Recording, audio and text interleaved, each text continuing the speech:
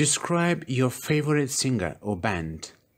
You should say who your favorite singer is, what his or her personality is, what genre of music his or her music is, and explain why he or she is your favorite singer.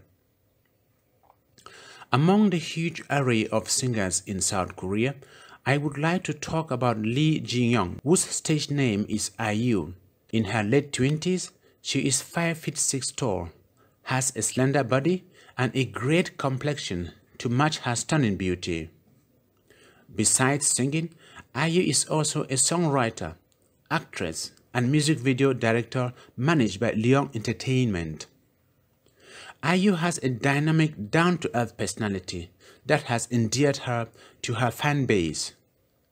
Aside from the fact that she has a great fashion sense, her intelligence and amiable personality make her even more gorgeous.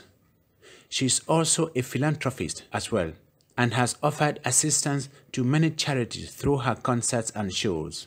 There are a few reasons why IU is my idol.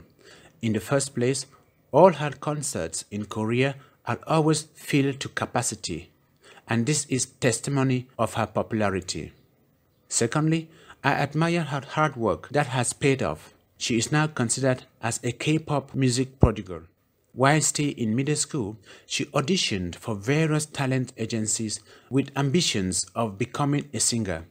IU's dream finally came through when she released her first single titled Palette, which went down well with music lovers, both within Korea and even beyond.